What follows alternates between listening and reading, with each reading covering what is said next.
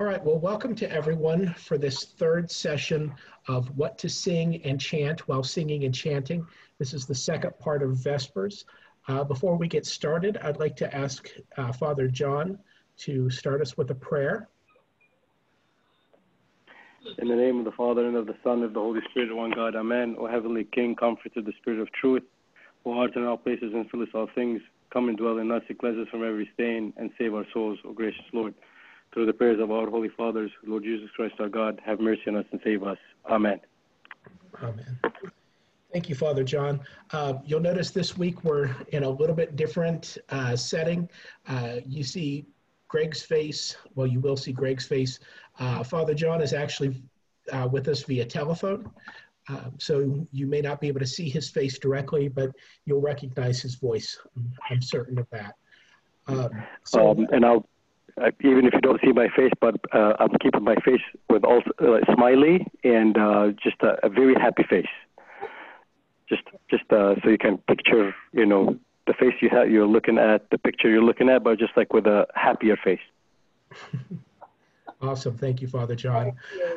All right, so again, this is uh, the third session of what to sing and chant while singing and chanting. Um, we've had great response so far.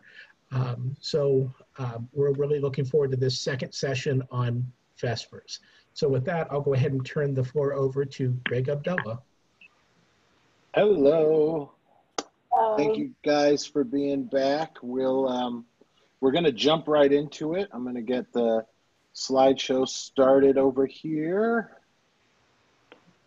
And we're going to go through today um, the second part of Vespers. So last week we talked about uh, Vespers all the way up through um, Gladsome Light and including Gladsome Light. This week we're going to pick up with just after that. Um, with Father John being in through phone and and Chris is going to be in and out a little bit, so we're gonna um, don't forget to throw any questions you have into the chat section, but we're gonna wait until the end of uh, the slideshow, and then we'll floor all of the questions at uh, one time, just so um, with the screen sharing on, it's tough to monitor the chat and do that. And it, I get very overwhelmed with technology. Um, don't tell anyone I said that. Uh, so if it's okay with everyone, we're just gonna hold hold your questions, throw them into the chat as they come up, and then once we um, finish, we will uh, come back and we'll answer all the questions at the end. Does that sound good, Abuna? Yes, yes, yes. So just to recap, we're talking about Vespers, and the question could be asked, well, what is Vespers? Vespers, as we know, is the evening service that literally means evening, which takes place at evening or dusk. It mainly its themes talk about and deal with creation and the glorification of God. It begins the new day liturgically. If you remember our um, chart from all the way back in the very first first session, the liturgical year, we had the chart of all the different services. The day begins with Vespers liturgically. Mainly, Vespers is coming to us from the monastic practice, with elements being taken from the Horologion, Euchologion, Octoechos, Menaion, Triodion, or Pentecostarion. And this week, we'll be looking at Vespers for this coming Saturday night, which, of course, is the Vespers of Sunday morning, October 4th, uh, which will be in tone 8 primarily. And hey, there's your picture. And um, commemorating the hieromartyr Hierotheos, Bishop of Athens, the hieromartyr Peter of Capitolia in Syria, the martyrs Domnina, her daughters of Syria, and you can see all the rest um, in that heading. After we have the entrance and everyone has processed into the uh, altar area, we begin with the evening prokimenon, with the deacon coming to the doors, the royal doors, lifting his orarion and saying the evening prokimenon. And literally, these words in Greek are are just simply saying the evening prokimenon. They're called esperas prokimenon, which is evening and prokimenon. A prokimenon is coming to us from the Horologion, and it literally means before the reading. There's one for each day um, that we would have Vespers, and they're taken from the Psalms. Typically, they would be followed by Old Testament readings. In the early times, uh, early church, every Vesper service had Old Testament readings. Today, we really only see those Old Testament readings read at major feasts, um, the great feasts of Christ, the feast of the Theotokos, and certain classes of saints as prescribed by the Typikon. The Prokeimenon for Saturday evening is, as we all know, the Lord is King and hath clothed himself with majesty. And this hymn is kind of, there's a few different ways that you could um, say that, that the style of practice for how it's chanted would go. Would you like to say anything about that, Abuna? we can't hear you at all, Father.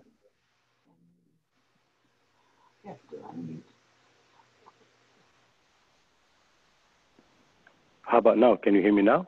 Yes. Okay. I wonder. Um, although I hear you very well from the phone, and I muted the com- the computer. Anyway, uh, in the Byzantine tradition, so we don't lose any time or uh, I lose you. Um, in the Byzantine tradition, the, the, exactly how you see it on the screen, uh, you would chant the the uh, the Prokeimenon once, and then there is a verse, and in this case we have the first verse as the Lord is robed, he is girded with strength, and then we chant again the Prokeimenon, and then we do the second verse, for he has established the world so that it shall never be moved. Then we um, uh, chant the Prokeimenon again for the third time with an ending. Okay, that's in the Byzantine tradition. Usually the verse is just intoned so we do not chant it as if like uh, the the same way we sing or we chant the Prokeimenon itself, and that's a way.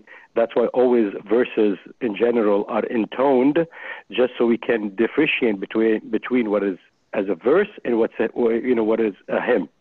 Um, so in the Byzantine, again, you'll sing it once, verse, you repeat the refrain, which is the prokimenon, the Lord is King, then you do the second verse, and then the refrain with an ending. So technically, you would do the prokimenon three times. Uh, just on the side, during uh, weekly Vespers, you only have you only see one verse. Only on Saturday, for whatever reason, we have two verses.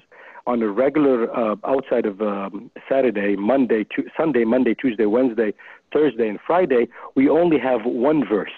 And the way we do it uh, with the prokimenon, which would be a different prokimenon, of course, a different um, uh, psalm verse, we would uh, actually do the verse twice in a row, and then the verse, and then the the Prokeimenon for the third time with an ending.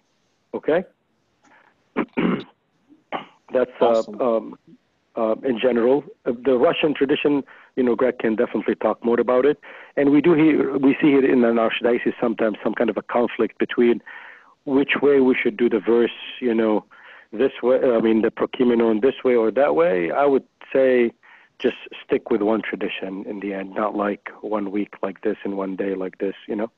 Uh, yeah. But I don't want to say, you know, I don't want people to say, well, if you do it Byzantine way, that means you're wrong, or if you're doing the Russian way, you know, it, you're wrong. It just they're too established tradition of the way, and most likely, honestly, most likely, the way the Russians do it is the older traditional way, and the Byzantines got to a point where they're like, you know, we wrote this thing, we wrote the rubrics for this, and we well actually we're not going to go with with what we have written. We, we we and they changed it somehow. We, they condensed it to what we have now uh, in the Byzantine uh, the way we do it in the Byzantine uh, style. Okay, that's all I had to say about the Prokeimenon. It's awesome. Following the Prokeimenon in a Great Vespers scenario, you see a series of litanies and prayers. First, we see the litany of fervent supplication, which you might also see um, in some texts. Um, the heading might say the augmented litany. And the the major key that you see with this litany is that you start with let us say with our whole soul with our whole mind let us say lord almighty the god of our fathers and then it switches into the have mercy on us o god according to thy great mercy we pray thee hearken and have mercy and we now have three Lord have mercies in response, which is why it's um, sometimes referred to augmented. as augmented, but also sometimes why it's referred to as fervent, because if we have to respond with Lord have mercy three times, we really mean it. Um, Greg, follow? Yes. Greg, I'm so sorry. I, I just wanted, um, um, I forgot to mention something about the, uh, the actually the Old Testament readings uh, Oh, that we yes. mentioned. Uh, uh, like exactly, and I'm, I'm sorry, I should have uh, told you this before. Um, you know, as you mentioned, uh, Greg, that uh, in the old days, most likely we always had, regardless, anytime you had a Vesper service, regardless if it's just a daily Vespers or whatever it is, um, there was some old, uh, like a, a reading from the Bible. Uh, and the reason I'm saying the reading from a Bible, not only the Old Testament, because in, if you notice, for feasts of um, uh, apostles, from uh, for the feasts of the apostles, uh, like Apostle James or um, the evangelists, uh, uh, Peter and Paul, you actually read from the New Testament and not from the Old Testament. And usually they're from uh, the Epistle of St. James or the Epistle of St. John, you know, one of, you know. So just wanted to make sure that not all the time, well, I mean, it's 99%, uh, or I would say 90% from the Old Testament, um, uh, but not uh, but not only from the Not Old Testament, but also from the New Testament. And during Lent, actually, that's how we know how the daily uh, our uh, for there, there were Old Testament readings or some kind of a reading from the Bibles during um, every day, basically, is from uh, uh, during Lent. If we, if you have a Vesper service every day um, uh, during Lent, you actually there are uh, uh, designated readings from the Old Testament, usually Genesis and Proverbs, if I'm not mistaken. That's why in pre-sanctified, which is kind of like a Vesper service, you know, slash divine liturgy. That's why you see these Old Testament readings that we read on Wednesdays, because we're so used to Wednesday being the only time we do kind of the pre-sanctified the Vesper service. But if your parish is doing every night Vespers, which you can definitely do, um, you will see those everyday uh, um, um, uh, readings. Um, but because it's Lent, we kind of like keep things, yeah, like we don't want to like uh, uh, chop off things out, you know. So it, like during we try to like keep everything how like used to be, like for a longer time, you know, not like We now keep it or as like, complete chopped off. as possible. What is it? We keep it as complete as possible. Yes, Brother. absolutely. That's definitely, you know. But outside Lent, usually we're like, nah, let's chop this off and let's get rid of this, and we don't want to do this anymore, and we're gonna, you know. But anyway, sorry, I just wanted to mention this, and No, it's beautiful. Following the litany of fervent supplication, we would move into what is called the evening prayer. Uh, you might see it, uh, you know, for those who know Greek as Kataxioson Kyrie. Um, for those of you that remember Bishop Antoun, I was about 13 years old when I realized that the words all together were not part of this prayer. But the reason that whenever Bishop Antoun was serving, was presiding from the throne, and and would get to this prayer, he would always turn to everyone and he would say, "All together," and then we would say the prayer together. Because when the bishop is presiding from the throne at Great Vespers, technically this prayer belongs to the bishop, and and the bishop is the one who who says that prayer. But he wanted everyone to to pray together because, for those of you that remember Bishop Antoun, he mm-hmm. loved people and wanted everyone to be together all the time as much as possible. Following the evening prayer, we see the litany of supplication, which you notice this one um, begins with Let us complete our evening prayer to the Lord, even though we've got about 15 to 20 more minutes. And then also has um, Grant this, O Lord, as the response uh, beginning about halfway through. Following this litany, we see the peace given and the prayer at the bowing of the heads. And then these, these, this whole section um, is coming to us from the Horologion and Euchologion, the, the priest parts coming from the Euchologion, the, the parts for the uh, choir, especially the prayers, uh, coming from the Horologion. Um, and it, during uh, daily Vespers, these, um, this whole section is reordered and everything gets kind of moved around. After the Prokimenon, you would go immediately into the evening prayer. The litany of fervent supplication gets moved until after the aposticha, and following the peace, then you would still go on as as you would. But for great vespers on a Saturday night, this is what, or anytime you would celebrate great vespers, this is the order you would see it. Um, it was really funny.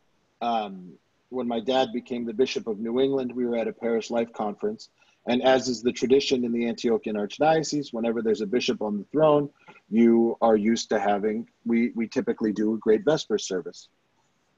And it was his very first Vespers at the very first night of the Parish Life Conference. And it came time for the um, uh, Vouchsafe, Lord prayer. And so we all waited for him to start it. And he was looking in the book in daily Vespers and so he turned because he noticed that everyone was staring at him and he said, Peace be to all. And in response, I was at the chanter stand. I re- replied with, um, And to thy spirit, vouchsafe, O Lord, to keep us this night without sin. And he said to me afterwards, I got lost because I, I didn't realize what was happening. And I said, Well, when there's a bishop there, we usually do uh, great great vespers and his response was i forgot there was a bishop there so it's it's just you know you might see things happening in different orders depending on what service you're doing. But for great vespers, always this is this is the order that we see, um, as is laid out in the service text week after week. Anything to add, Abuna? No, no. God bless you. I mean, uh, regular Orthros. I mean, uh, daily Orthros. The things, the the order is a bit uh, different, uh, but we probably should say it at the end. We probably like can talk, you know, if we have time or through that a little more. Yeah, I mean there are a bunch, you know, vespers for Lent, and I mean we, uh, the sky is the limit once we start talking about these things, you know. So, but we don't want to like hammer too much too much information at the same time, you know. So, um, but anyway, if we have time, we can mention it. Like the difference between great vespers and the daily vespers is not of a of a, uh, a big uh, difference. A couple things that they just, you know, they just like got swapped if you were in a way. But to talk more about like Lenten vespers and stuff, that would require like a. a That's a whole different chart that exactly. goes gets thrown into things. Exactly. Uh, following the peace and the prayer at the bowing of the heads, we begin with the aposticha. The aposticha refer to psalm verses that are um, those hymns that we looked at with Lord I Have Cried, similar to that, that have psalm verses interspersed they have their own doxasticon and their theotokion. Sometimes, as you'll see for this coming Saturday, um, everything is in tone eight. So everything is coming from the Octoechos. The saint of the day, Hierotheos of Athos, is not a high enough rank where we sing anything at the Aposticha for for for him. And so the Theotokion of the resurrection is the one used. It's not what we would call a split glory. There is only the Glory, both now endeavor, followed by the Theotokion in tone 8. Mm-hmm. The hymns are a combination, coming in the Aposticha, are a combination of the Horologion, the Octoechos, the Menaion, and the Triodion or Pentecostarion. And as we talked about over the last couple of classes, um, the Typicon is the book that shows us how to put everything together. But in this case, for this Saturday, everything is coming basically from the Octoechos. The entire thing. The entire thing of the aposticha. And, um, you know, if you notice, those hymns that you're looking at, they're specifically for tone 8. Next week, when it's, or the following week when it's tone 1, it will be different hymns, and they will be like basically together. This is, you know, those those hymns will be only for tone 1, and then tone 2, and tone 3. Um, and then one thing like to notice about the aposticha, um, I mean, between Vespers and Orthros, we have three places that we have verses that we chant between hymns. And it's after Lord I've cried, we have, you know, the verses, Shadow Watch, O Lord, and then we have verses, you know, uh, hymns to chant. And then we have the Aposticha, and then we have the praises after Orthros. Praise ye God and his saints, praise him in his, his firm foundation. But if we notice just the Aposticha, for whatever reason, all the, the other two, the hymns after Lord I've cried and the hymns uh, after the praises, after let every everything that hath breath praise the Lord, they start actually with a verse, then the hymn. Except the aposticha, for whatever reason, it will be good, you know, you know, I don't want to say like a whole research thing, but like it would be interesting to know why only the aposticha actually starts with an actual hymn and not a verse. And the verse, see how like the verse one on the screen is actually after the first, uh, you know, hymn, not like usually like a verse and then a hymn, verse then a hymn, verse then a hymn. Um, it's just uh, I, I don't again there are many things you know I wish we can know the reason. And some we definitely there is a reason and I just need to you know investigate more. And there are some that we just like that's how we, you know we receive them. At some point somebody never wrote about it why you know it was done this way and just became that's the natural thing to do. Um, one thing to mention um, you see here four hymns but usually um, on um, um, only on Saturday you see four. Usually you see three, and maybe that's why. Um, um, I mean, even when you have three, um, only two verses. With, you'll have two verses instead of three, right? Um, do we always yeah. intone the verses and have music? Oh, that's actually a question I can answer it now because I'm also uh, between Chris and I we're looking at the uh, questions. The chat. Um, okay. Uh, yeah. So do we always intone the verse? They have music and the links on the website. So what we're trying to do, uh, well, in general, as a rule, general rule, the verse should be intoned, like I said in the beginning, so we can the person uh, the hearer can differentiate between what is actually the actual hymn and what the prokimenon or the, the verse uh, is. So it will be a little bit um, uh, um, uh, like I can be kind of get lost if I start singing. Let's say that this apostrophe has in tone eight. You know, so if I'm doing the verse one, uh, it will be kind of like um, uh, um, I can get lost a little bit. And uh, if I start, or if I hear the chanter going, the Lord is King and hath clothed himself with majesty. The Lord is robed, he is girded with strength. Let us glorify. It, in a way, it's like in a way, I'm sounding like it sounds like it's all one one hymn. Um, so I don't, I couldn't like basically uh, differentiate between the verse and the hymn itself. So in general, the verse should be intoned something like this: "The Lord is King," or usually on the bass note or the dominant note of a, you know, the specific, uh, whichever uh, tone. So mm, the Lord is king and hath clothed himself with majesty. The Lord is robed, he is girded with strength. So you, if you notice, I kind of like intoned 90% of it to like kind of robed. And then the last few uh, uh, uh syllables, if I can say, uh, where you kind of sing them a little bit like more uh, embellished than the verse itself. Okay, so we do offer um, we do offer uh, the music for the verse, just like as um, you know. Here's I usually would say on top of it fast or something that to to to make sure people know it's not just like chanted. It's just kind of like a, the Lord is King and hath clothed himself with majesty. The Lord is robed. He is girded with strength. strength. Let us, and then you take kind of a breath, and then you start uh, singing, and then for he has established the world so that it shall never be moved. And then you sing it. Okay? Uh, there's another question. Um, at a great Vespers that has everything from the Octoechos with no glory in the, uh, should the heirmologic apostic and be sung? And similarly, the Lord I have cried. Uh, Jesse, it's a, a great question. Um, there is this uh, unwritten tradition, if I can say, um, without going through, through, a lot of details. Usually, the this in this case that we have here in the Theotokion of the Resurrection in Tone 8 that we see on the screen, usually the, if, if, if it's um, uh, only from the Octoechos, this one for the Aposticha is chanted in the heirmologic uh, style, but the the one for uh, Lord I have cried, uh, it's, it's from the Octoechos or what's called the Dogmatikon, this unwritten tradition is to sing it in the Synkiratic style, more embellished.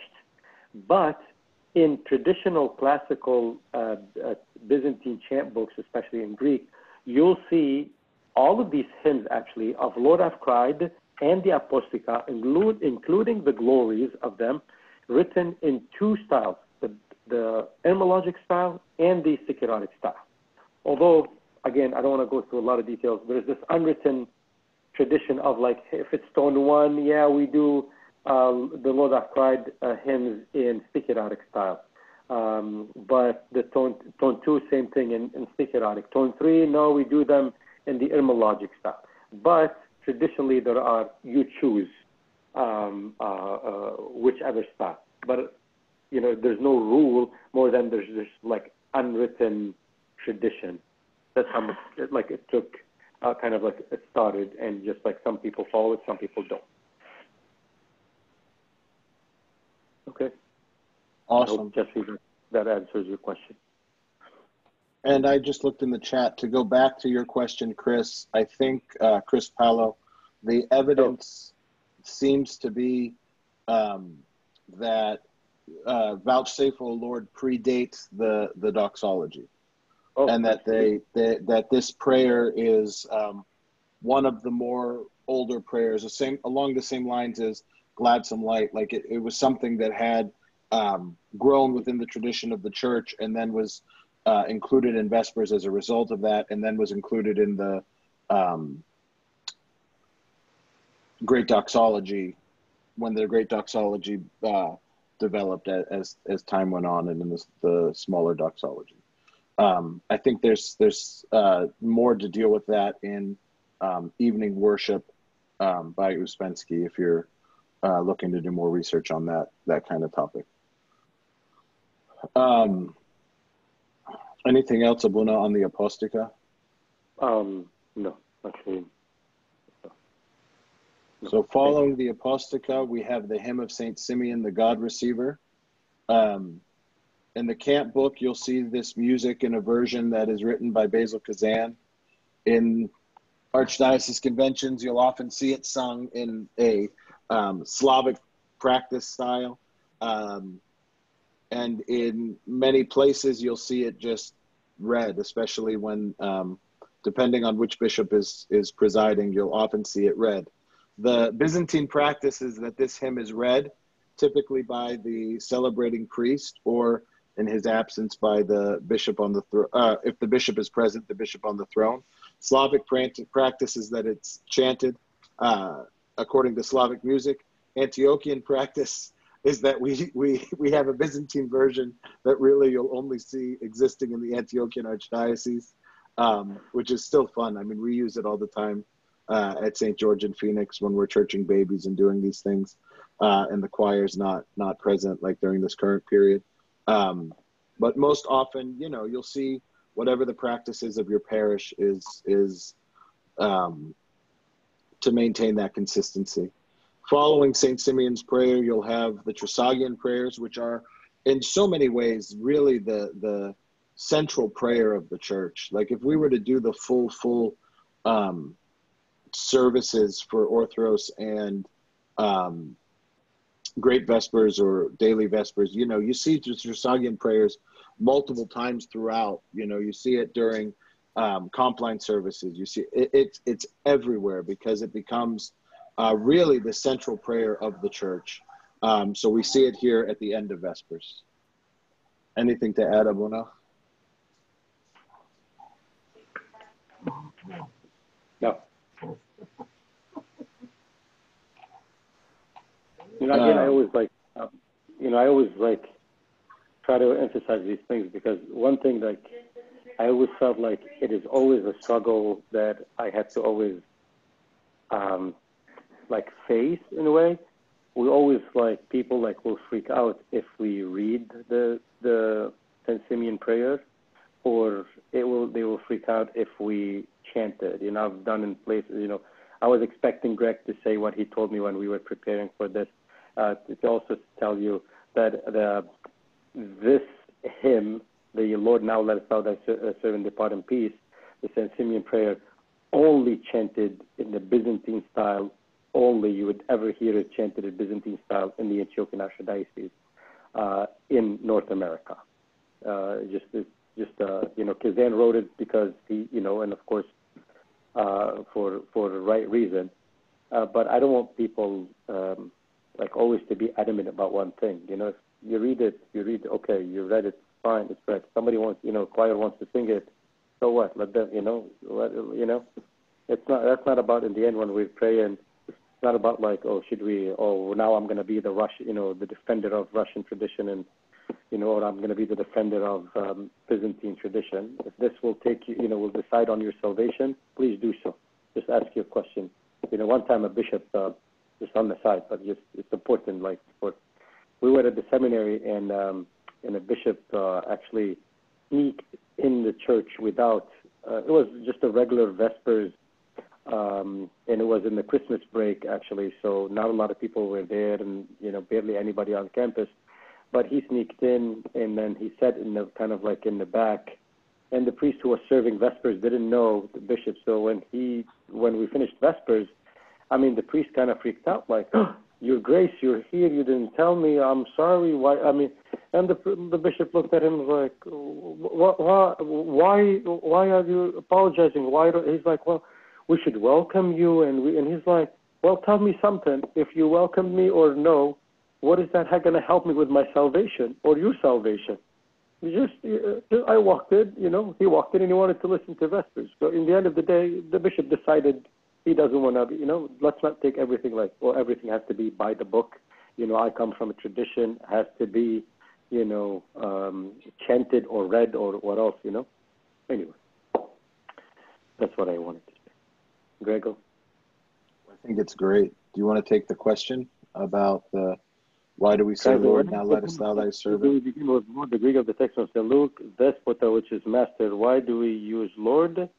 Um, well, uh, maybe the thing without it, but it sounds like always.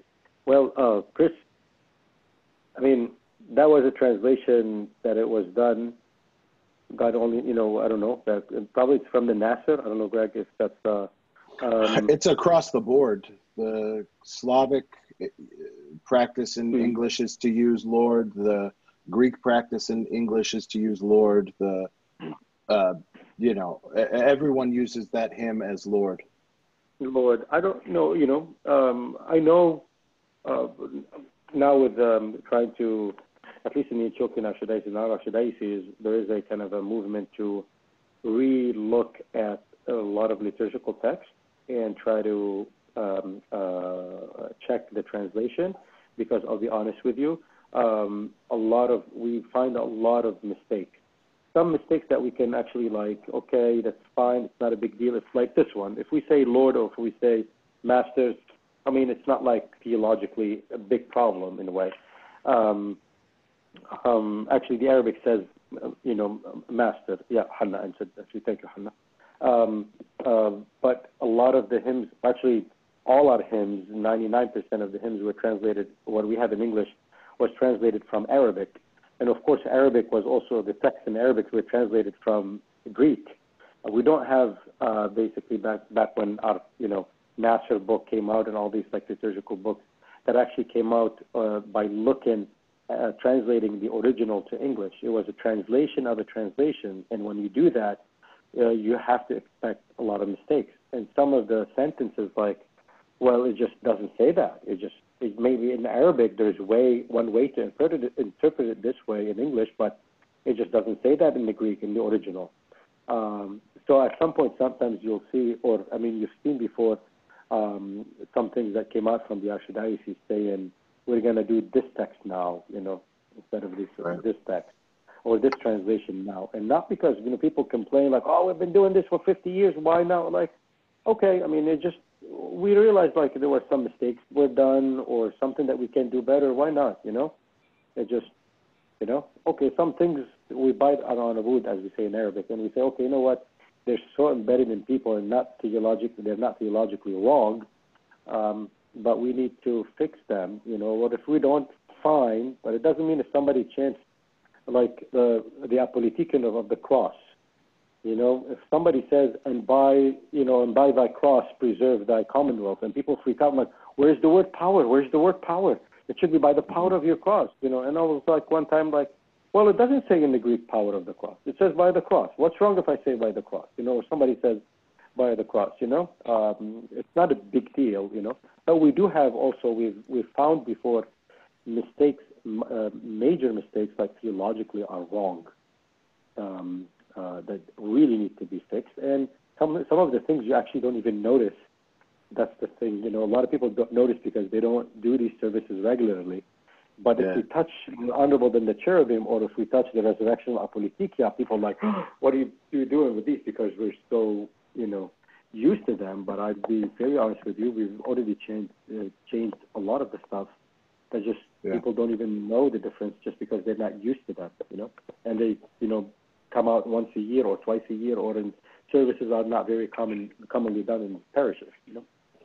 The other thing about language to keep in mind, it's very easy now to look at this is what the Greek says, and so this is how I would translate it now. But we always have to keep in mind language is at times can be flux and words can be used different ways to mean different things. Like um, if you were to say to someone who's a native Arabic speaker to take a U turn, they're going to be very confused because there's no U in Arabic you know? As they get accustomed to to america they start to understand what a u-turn is but there are colloquialisms there are those things that we have. Just like you know i mean seraphim nassar if you remember all the way back to that first class that we did you know what nassar did was in 1936 language is different today than it was in 1936 even um, there are like these little things that you can notice um, for example it, Father John mentioned the Troparion of the Cross. So is the word barbarian, is the word evil, is the word, you know, because in Arabic, there are some people that will say barbar and there are some people that will say sharir. And, mm-hmm. and what do you do with that? Because even in the Middle East, you might have multiple different ways, which again, it's a translation of a translation. But what do you do when the um, translation starts to change? Is it um, to thee the champion leader, I thy servant, or is it I thy city? Because in both Greek and in Arabic, it started as city and now has been shifted to servant because we're not worried about the city in the same way we used to be. So we need to understand and and allow for the fact that language would shift and and might might change. You know, what did they use Lord when they translated it into English? And I don't know this because it even though it says master, the idea behind master is is some sort of understanding what Simeon was saying differently. It's all hacky. Like at the end of the day, we just are trying to to figure out how we're praising God in the best way possible. And you know, I personally I take sometimes a stand of there are so few um, hymns that the entirety of Orthodoxy says the same way um, that to necessarily change them just to be more accurate, um, sometimes something gets lost in our ability to to pray with others. Um, anyway, I don't know if that helps answer or is too much of a tangent, but just some some thoughts no, I mean, that I have on language think, as well. No, no, no, Chris. I, I think uh, Chris uh, Paulo, like it's a, it's a great question, though, guys. I mean, I love these kind of questions. At least you know, uh, Greg and I, and and but that's why you know we we we, we well, we just need to be um, like very objective about these things. You know, people sometimes like I'll tell you honestly, you know, uh, when Sayyidina Joseph became the metropolitan, one of the first things that he changed that he never liked from before, it was like God is the Lord, um, um, um, who has shown us uh, light. You know, who has shown us the light, and it's actually it's not, and you know, it's just not the original. It is actually God. You know, God is the Lord and hath appeared unto us, or hath revealed Himself to us, and you know, and then, you know, it, it happened around April after Pascha that, you know, when they came out with the, Sayyidina said, you know, he wants the new translation. Um, and then we literally received an email, the Sacred Music Department, because we had to produce new music because it's new text. And literally somebody says, like, literally, I'm not like exaggerating. He says that we ruined his Pascha, his Paschal season, because we changed those words that he's known for so many years. And I'm like, you know, God bless you. Like, but I mean, is that really, really like your Pascha is ruined just because you know actually you tried to be a little bit more uh, uh, um, faithful to the translation or like to the right text, you know?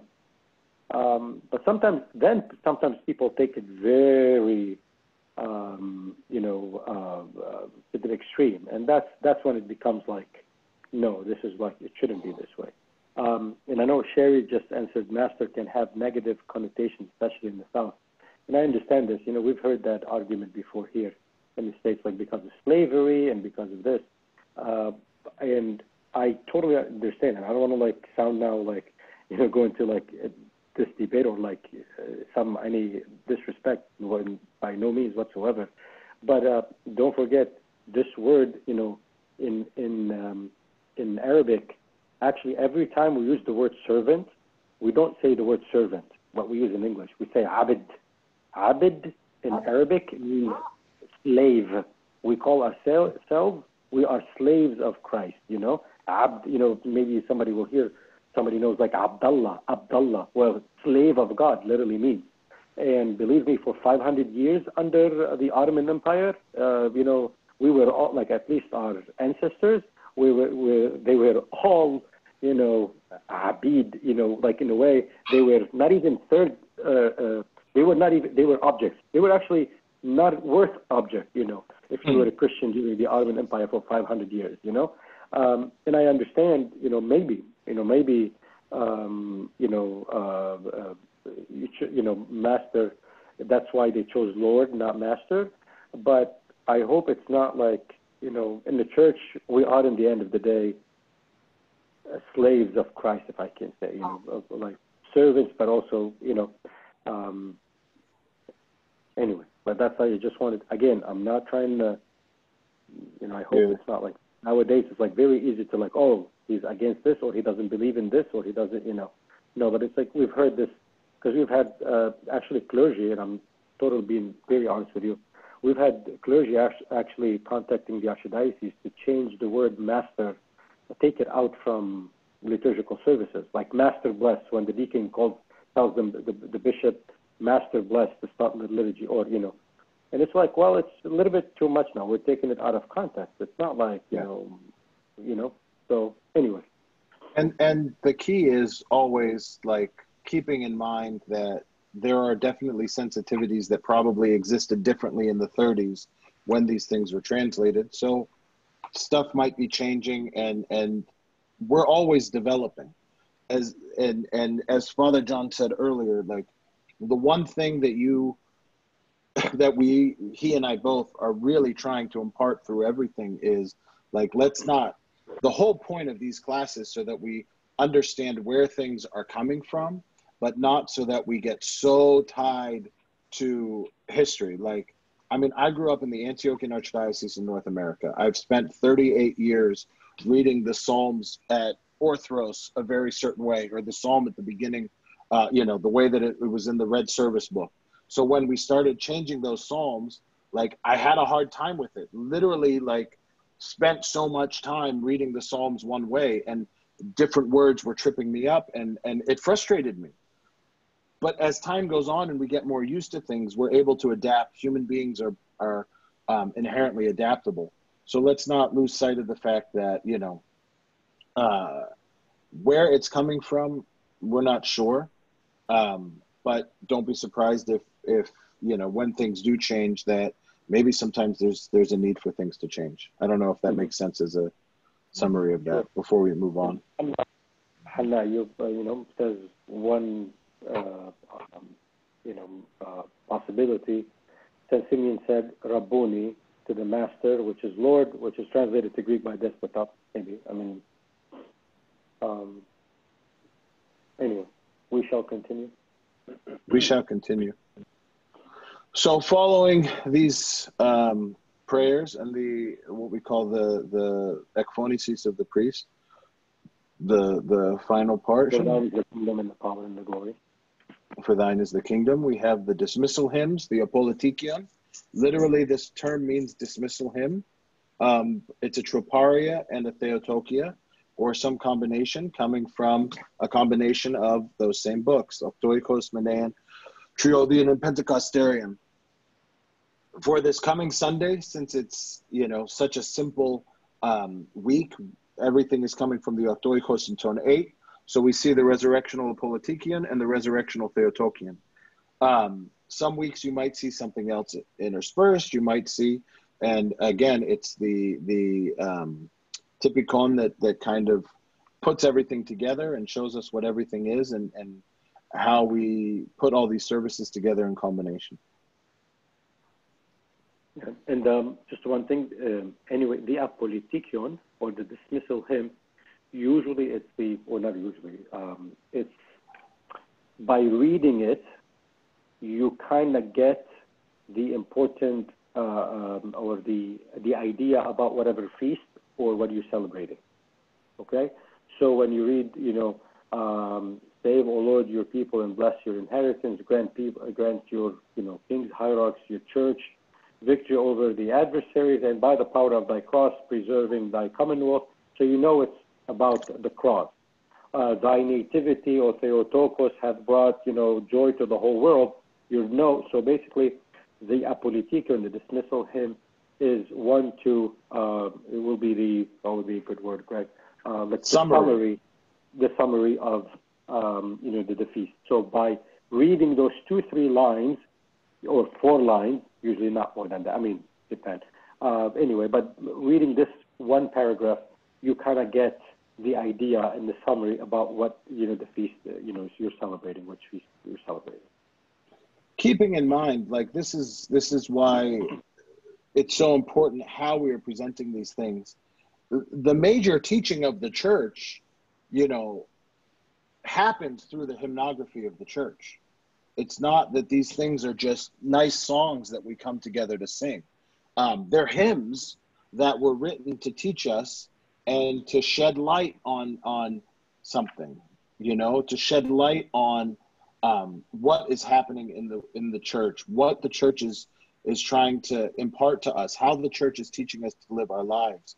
Um, you know, you'll often see in in hymns for major feast days, it always uses the term today because these teaching hymns, these hymns, these um, sacred texts are there to bring us into the reality that is the feast and to bring the feast, uh, make the feast present in our lives in this moment in as things are happening. It's not that when we talk about save o lord your people and bless your inheritance that we remember that the cross happened 2000 years ago. It's save your people today um, and, and, and please just come to us um, and, and and help us out now because it's as important as it was when the cross came uh, Jesse, we'll save your question for the end to the difference between simple and daily vespers, unless you want to tackle that now, Abuna. No, you can tackle it. No, tfadla. But we can wait until well, after the after the dismissal, maybe. Uh, after just after you do the dismissal. So, following the Apolytikion or the dismissal hymn, we hear the dismissal which begins with the deacon saying wisdom and this dialogue. Um, and then we're taught through the dismissal itself all of these important things that are going on, all of these things that are happening. On Saturday um, night, in anticipation for Sunday, it's always, May he who rose from the dead, Christ our true God.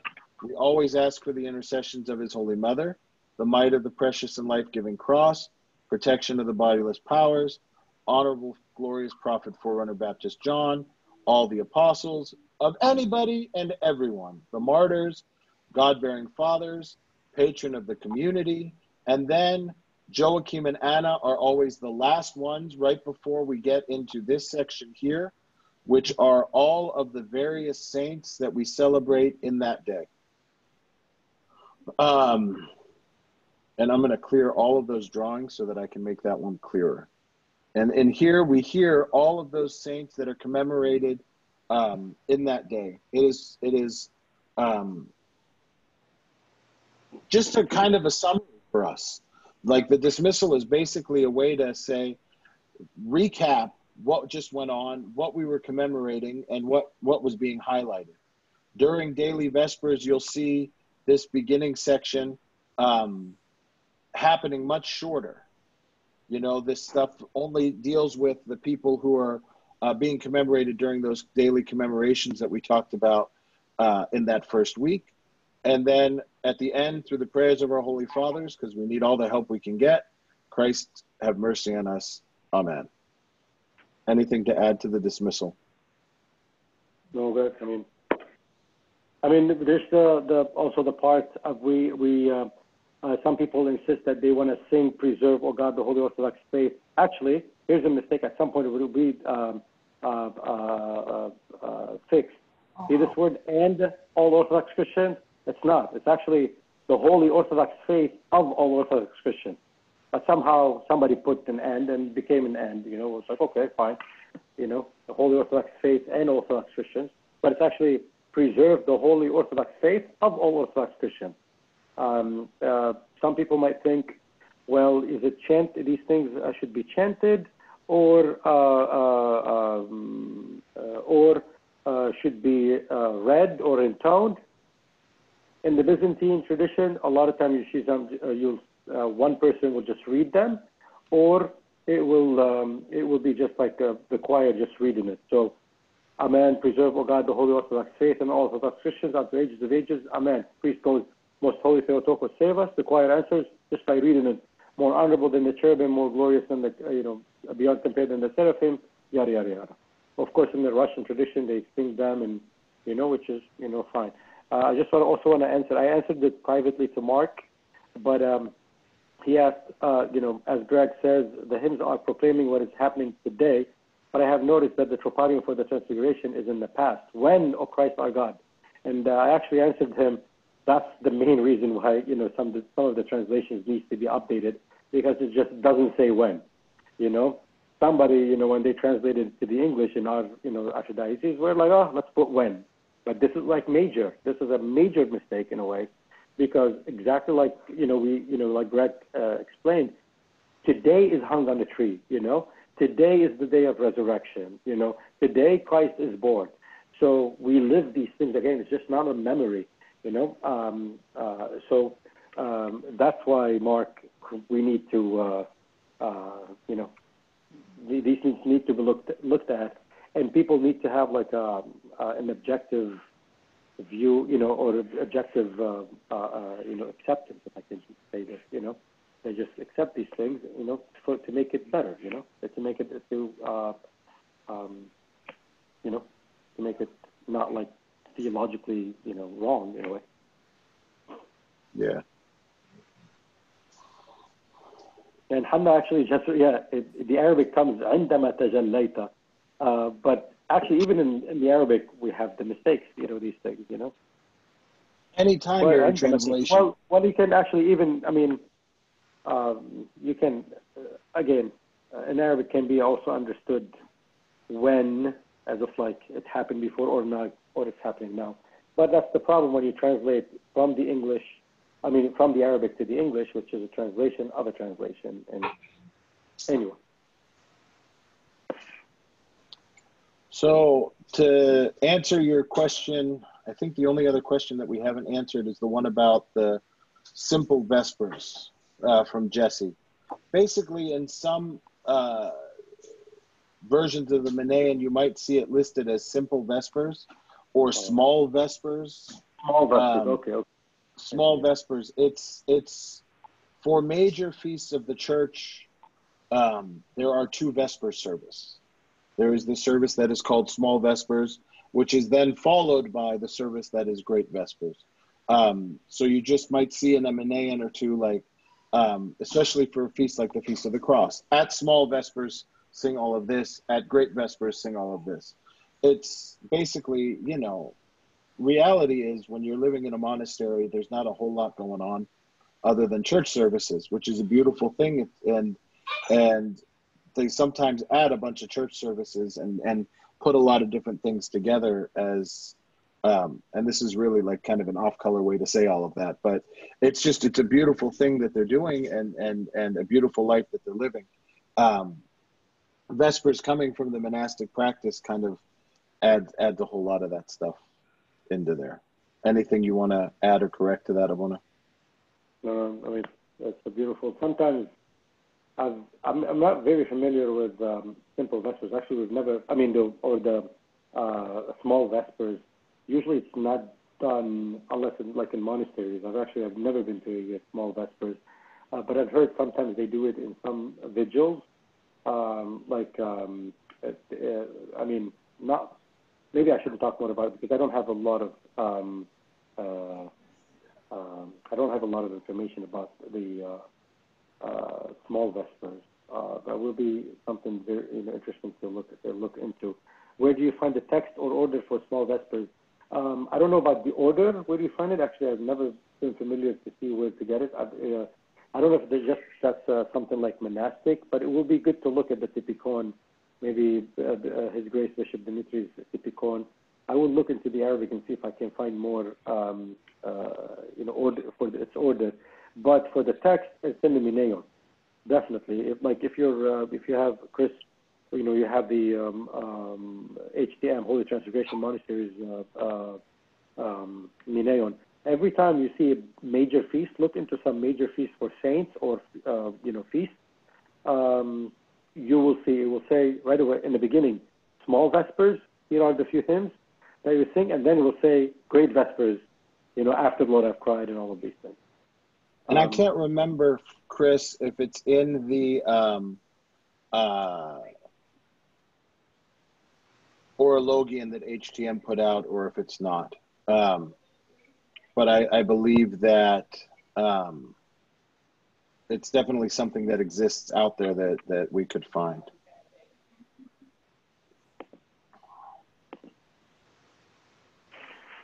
Um,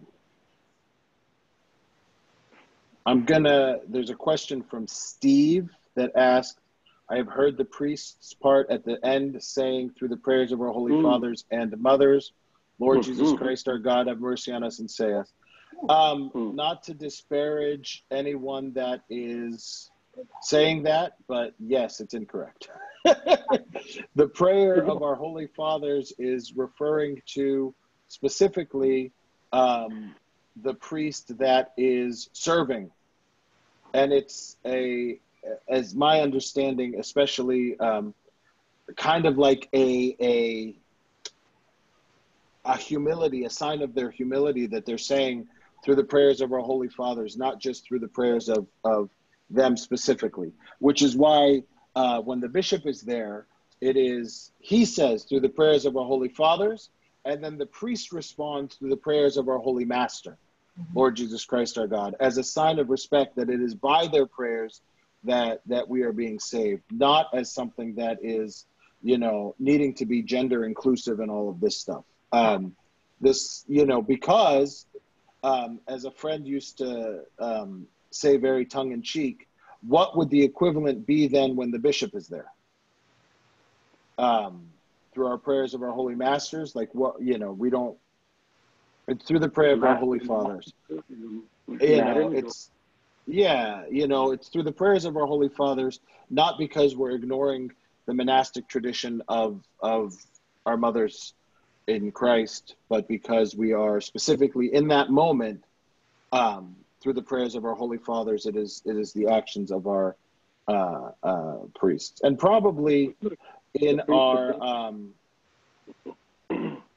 probably in in the monastic practice, it is it's coming from there. This through the prayers of our holy fathers, the brotherhood, the idea that that it's all together. But I doubt that that's really where it would, because then it would have uh, the equivalent for a female monastery. So it's specific mm-hmm. to the priests that are serving, to the the, the ones serving that uh, the divine services. If that I mean, answers. Unfortunately, unfortunately, you know, uh, and I think Maya said before, a lot of times we we try to now in the liturgy we have to make sure it's political correctness, as if like somehow in the church you know, we're with against something, you know. Um, some priests like to do, you know, fathers and mothers. I mean, some I actually have heard it through the prayers of our holy community. Lord Jesus Christ, our God, you know, one professor at the seminary used to, you know, say this, and maybe he's still, I don't know.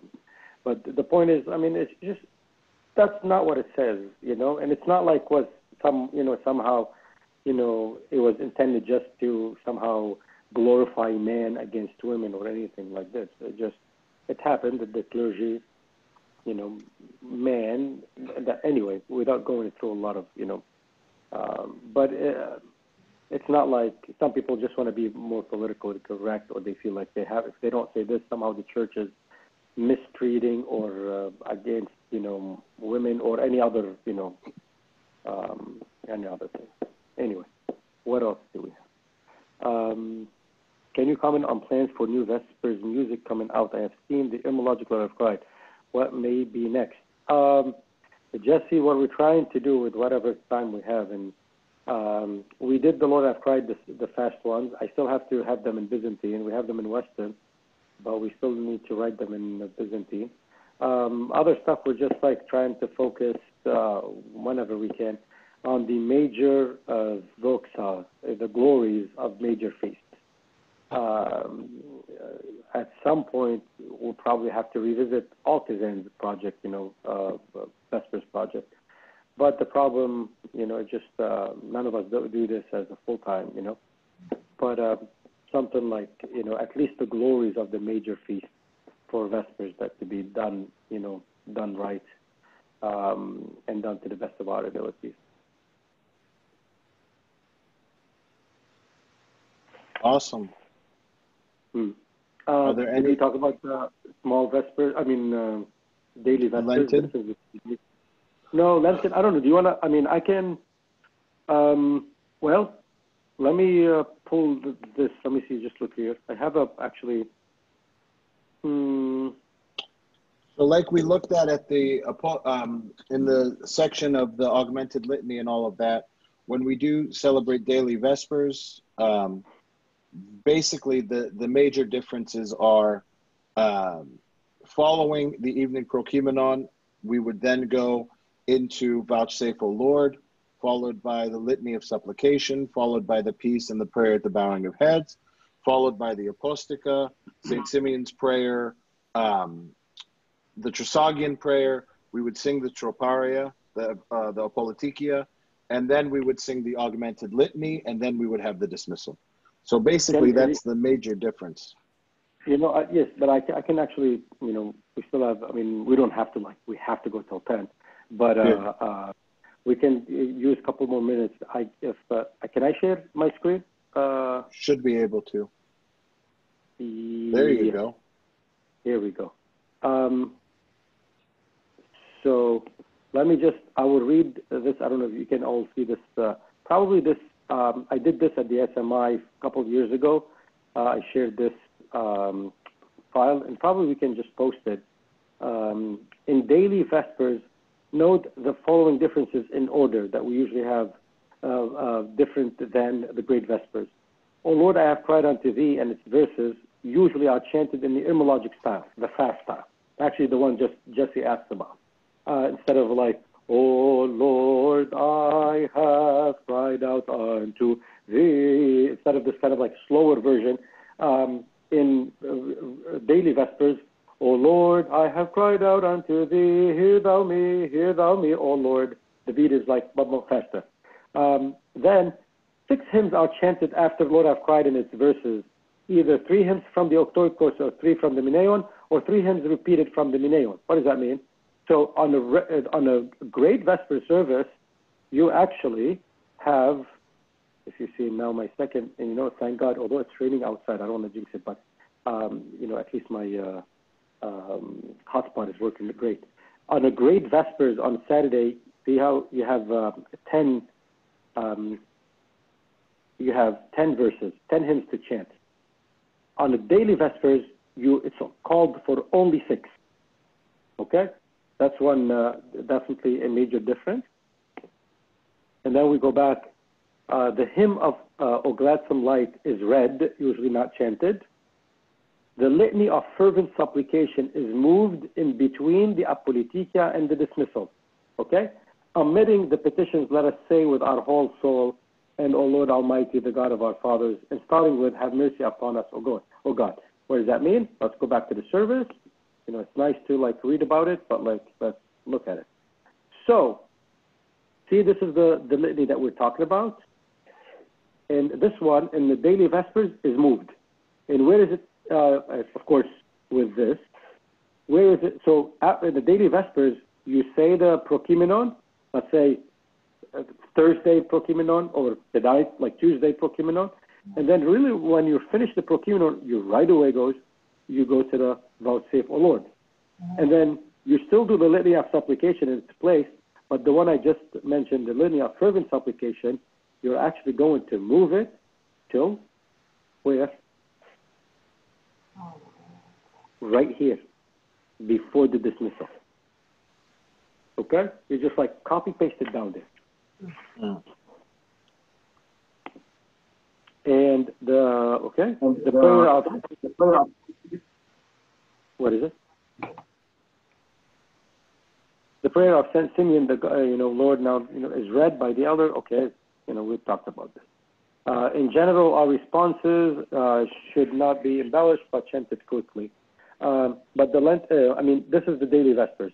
This is the difference between the daily Vespers, if you're doing Vespers on Monday, Tuesday, or anytime there's, it's not called for an entrance. Actually, somebody uh, mentioned that, you know, like Vespers, daily Vespers, and the Great Vespers, and it's like a Vespers with entrance, a Vespers without entrance. And usually, whenever with entrance, um, it's festal one, it's a Great Vesper. But this is the the, the difference between um, the daily Vespers and the Great Vespers, that, as we know them now. Um, uh, I can talk. I don't know if there are any questions.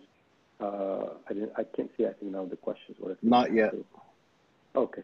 Um, for Lenten Vespers, um, and when we say Lenten, usually, I mean, of course, during Lent, and um, when there's no major feast, like the Feast of the Annunciation always falls, at least with the new calendar, it always falls during Lent, you know.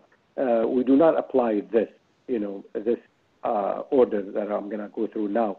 Uh, we usually apply, um, uh, I mean, Lent Lenten Vespers is for any, during Lent, but there's no major feast like Annunci- Annunciation, like the uh, Holy Forty Martyrs, Holy martyrs. like uh, uh, uh, Saint Charalambos, you know. Uh, anyway, in Lenten Vespers, the only difference is uh, you still have the same concept as the daily Vespers, six hymns after Lord have cried, but you always have the two Old Testament readings. And usually, like I said, Genesis and Proverbs. And you know how we said, anyway, after the Prokeimenon, technically in a regular, you know, Great Vespers or outside of Lent, we always had most likely, re, uh, you know, uh, Old Testament readings. It just somehow, like Greg said, in Lent we like to say things more fully, you know. So the two Old Testament readings are uh, um, uh, definitely there. And then with the Aposticha, we have something a little bit different than the regular uh, Aposticha. Actually, I forgot to mention here that actually it's missing. For the daily Vespers, instead of four hymns for the Aposticha, you have three hymns in the Aposticha. Actually, I just it just came to my mind. So, like I would go like this here and go like this, and then add something like for the Aposticha, only three hymns are chanted. Okay, I will uh, adjust it and maybe you know format it better and then uh, we can edit. But uh, going back to the Lenten Vespers, the Aposticha, actually we have two hymns. Okay, first hymn is chanted twice in the Sticheratic style, and the second hymn for the martyrs is chanted once in the heirmologic style. So there are two hymns, but you're repeating the first one twice. That's why it makes it total three hymns that you're singing. They conclude with a Theotokion chanted in the heirmologic style. Usually, uh, all three hymns are chanted in the same tone with the appropriate verses. There are verses specifically for Lent uh, that we we use for Lent, uh, and there are actually verses that we use for the Aposticha uh, for daily Vespers. Okay? Um, instead of the Apolytikia, the resurrection of Apolytikia like we had, um, like in our case here, instead of those, during Lenten Vespers, we do not sing these hymns. we sing the Lenten Troparia, Rejoice, O Virgin Theotokos, Mary full of grace, the Lord is with you. And then the next one, O Baptizer of Christ, glory to the Father, to the Son, to the Holy Spirit, O pure apostles and all the saints, both now and ever, we have taken refuge, you know, the O Theotokos. Actually, four hymns are chanted. And then, Lord have mercy 12 times, um, glory both now more honorable, and then there's the Saint Ephraim prayer, and then the dismissal, the way we have. Okay? Um, again, I would always say, look, I mean, people who are interested to learn more about these things, I think the best way, and that's how I actually I learned, and I, at least for me, I found it the best way. Um, I would look at these, especially now we have such a great tool, the online liturgical guide. Print one like Lenten one, and then print one um, uh, from a great Vespers one, from a Saturday, and note the differences in between and see what changed and what stayed the same and stuff like this. And that's how at least you can, you know, um, uh, um, you know, um, you get to see the difference between these things. Um, oh, okay. Uh, anyway, anything else we need to talk about Vespers? Anybody has any question? I mean, there is something we did not talk about. I just, you know, we kind of said like we probably should open the whole uh, um, uh, can of worms. Is that the English name? Can um, of worms. Yep. But, yeah. Um, but uh, it's called the Artoklasia. It's the five loaves, uh, the service of the five loaves, and the fervent prayer, the liti. Uh, but this is usually it's a service uh, or a part that is added to Vespers um, only on major major feasts. And if you rem- remember how Greg said last week when somebody, I think Hannah asked about the Alexandria, when we talked about, uh, Greg talked about the lasagna, how it was his favorite thing. And if he eats lasagna every day, then it won't become his favorite thing because it's only for special time, for special, you know. Um, so the artoklasia or the five loaves, the service of the five loaves, um, is basically for major feasts or the patron saint of the church or a major feast like St. Peter and Paul, St. John Chrysostom, you know. It's excellent. Yeah. Um, um, oh, is that, um, but what, if any, is the correct practice of lighting the lamps at Gladsome Light? I think we've talked about it this last week. I mean, people like are very adamant about like we need to push the button, you know, we need to put the lights on right when it Gladsome Light. Um, it's never like um, uh, local tradition. Maybe in the I don't know if it's like uh, you know written somewhere that we have to be. I'm not familiar with it, but uh, it's not about like there's definitely you have to do the lights. You know, it's a nice tradition, I would say.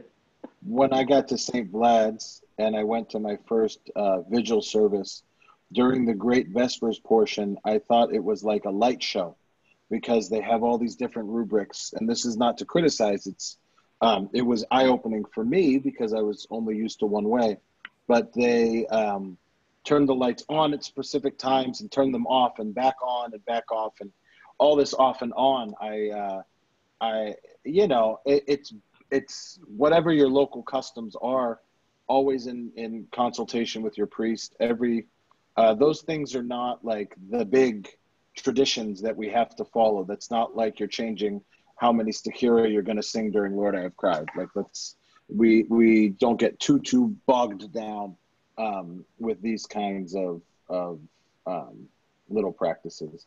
There's not like a oh they lit that candle first and then that one second, so that was incorrect. You know, it's practice of the parish.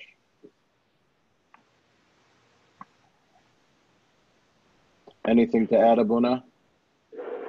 Uh, no. Um, Oh, Saint Thecla.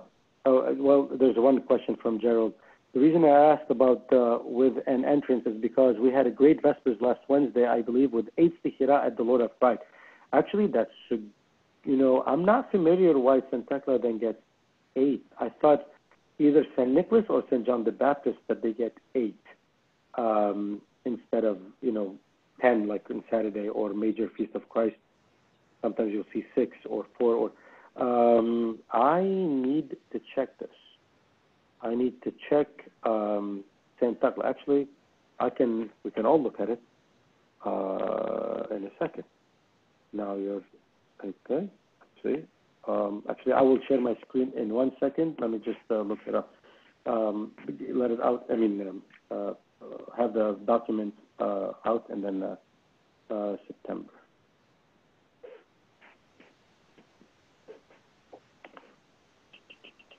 One,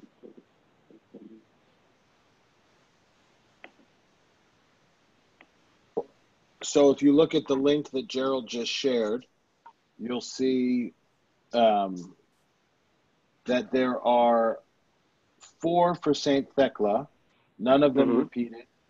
And then there are four for St. Silouan, but one of them is repeated, which, I mean, obviously, as you're pulling up the, the Menaion text in general, Abuna, um, we'll have a better answer. But I think part of it is St. Silouan, you know, has his three hymns, but because St. Thecla has, has special veneration within the Antiochian uh, Patriarchate, um, you know, sometimes they have, um, maybe she had six for set. Okay, so she and has- Chris Hallway says what- there's six. She gets she gets six. So here, if um, there's the Zoom share screen. Uh, you're looking at technically the, the book of the Menaion. It says see how in Vespers. Well, I have to just can't see. Um, it says, "For Lord I have cried." We allow for six verses if you're celebrating just Saint Thecla, and uh, chant the following stichera, repeating the first two. That's why they're like four hymns one, two, three, and four. But if you Mhm. see here, it says twice, and it says twice.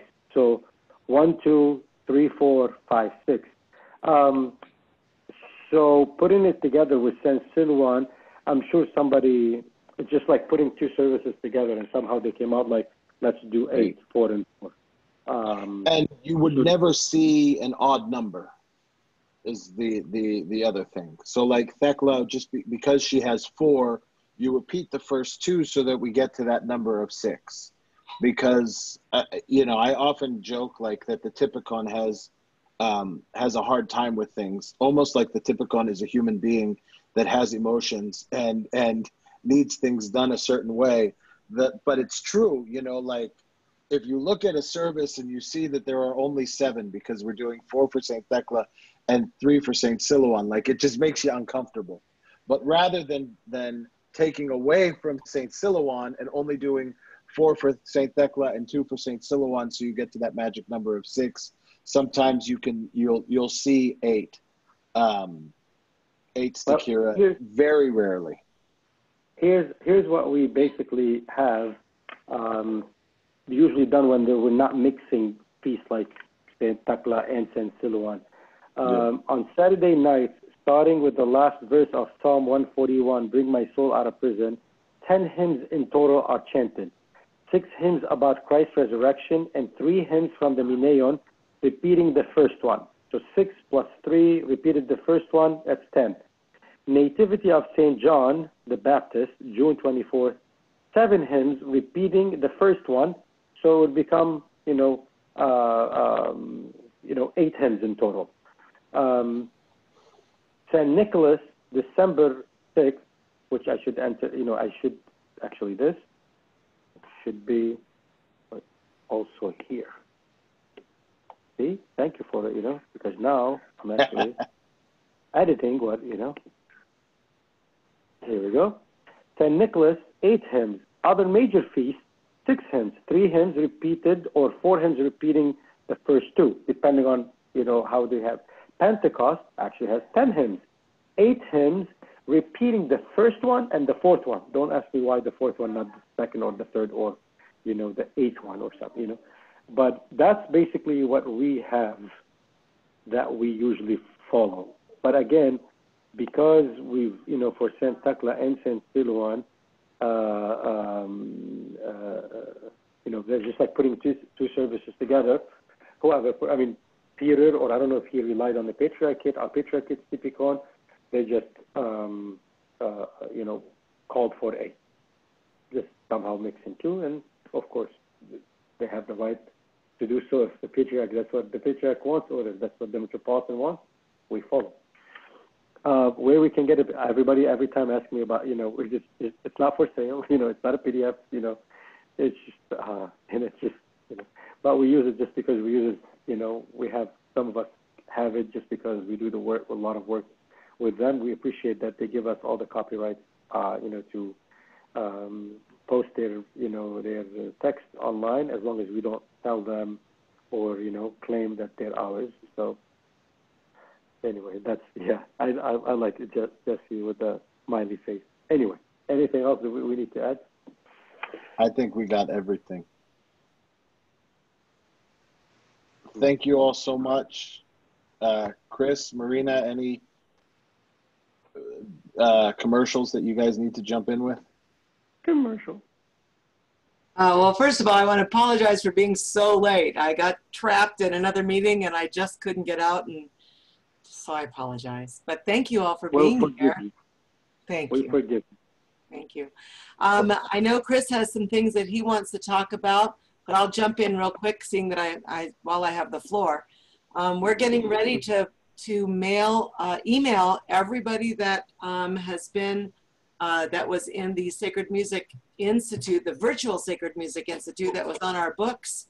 Um, we're going to be sending out all the new information about doing our virtual choir and it's going to take us a little while to get it together and it's a christmas exapostolarion so we want everybody to open that email and participate it's going to be so much fun and if you've never done it before it's a little weird but in the end we're going to have a wonderful um, thing to remember our our virtual sacred music institute and Father John and Greg, I need you guys to do it as well. You need to be our, our leaders so that everybody doesn't feel worried about it. I know you can do it. And we're going to give you, Um, learning, we're giving you learning tracks, the whole bit. It's going to be great. So Cool. I'll let, I'll let Chris take it over from here, but thank you all for coming tonight. We sure appreciate it. Thank you, Marina. Thanks, Marina. Uh, Just to piggyback on what Marina just said, uh, the Exapostolarian for the Nativity is actually in the tone three um, traditional prosomia melody, only it's a harmonized melody. And if you listen to it, it actually follows pretty close to, to the, the traditional Byzantine melody. So um, I think it's going to be pretty exciting. Uh, so those of you who maybe are, you know, more chant oriented and don't do four part music, um, you know, it's it's a good opportunity because it is a melody that you know. So uh, it'd be great to have everybody participate. Uh, I do want to give my regular commercials as far as what we have coming up in the upcoming weeks. Um, next week we'll be we'll be doing a session with Charlie Marge on Tone One. The following weekend after that is the those the Sunday of Tone One. Uh, so Charlie's going to present, and actually this is um, basically what he did at the Virtual Sacred Music Institute back in July. Um, but he'll be doing a live portion of it as well, so that uh, people can uh, ask questions. He can, you know, have a, more of a discussion going.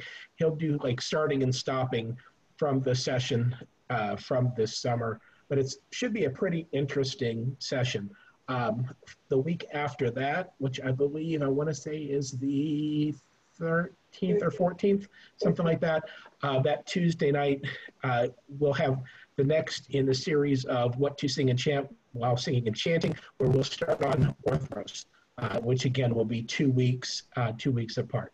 So uh, we do, as as we've been trying to do all, all fall long, um, have several sessions, you know, weekly sessions coming up, uh, and hopefully there'll be something there for everybody. So if you haven't signed up for all of those, make sure you do that. If you have not signed up for the say uh, the our uh, our Facebook group, I will put in the chat a uh, a link to where you can go to sign up for that fa- that Facebook group. Uh, just request to be a member, and we'll we'll accept you, and you should all be able to get in. Um, everyone who was in this session has been added to our email list, so that you should be getting week weekly emails uh, about the, these sessions. There's links to sessions that you might have missed or the sessions you'd like to, to, to hear again, um, as well as information about the upcoming sessions as well. So we've got a ton of stuff going on here with the department. Um, we could not thank you guys enough. We really appreciate the fact that so many people are taking part in these programs. Um, it's a great testament to, number one, your commitment to your church. Uh, but not only that, it's also a great testament to the fact that right now, so many of us have very little ability to participate. And, and that's really difficult. Um, you guys are taking that opportunity to, you know, to build on your, your experience, your knowledge, your, your technical skill, all those things, um, which is great. Share these sessions with other people in your church. Just because somebody has not in the past participated in sacred music department stuff, that doesn't mean that they should not be here learning all of this information. Yes, you go, go out and teach them from what you've learned, but you could also just bring them right here and so uh, they can be a part of this as well. So please share those emails when you get them um, and tell your friends and, and get them involved as well. Um, again, thank you all for being here. Thank you to our presenters, uh, Greg and Father John. Um, as always, fantastic. Uh, we really appreciate it. Thank you have. all. Appreciate it. Thank, Thank good you all. night. Have a good night. Very nice. Good night. Thank you. Thank you, thank you. Good night. Good night. Bye-bye.